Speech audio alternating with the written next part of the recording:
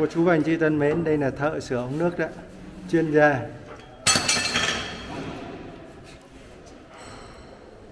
Nhà không có thợ nào, mọi sự đều hoàn hóc hết. Nên là có thợ cái gì nhẹ nhàng hết.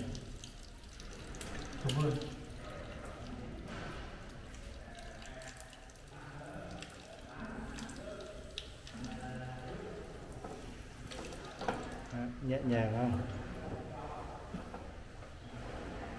Nếu cô chú và anh chị thấy hay, thấy ủng hộ kênh, đăng ký cũng như chia sẻ cho nhiều người được biết.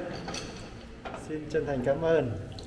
Thôi chào cô chú và anh chị cái nào. quay à, nhà đang thi công ấy Là thi công.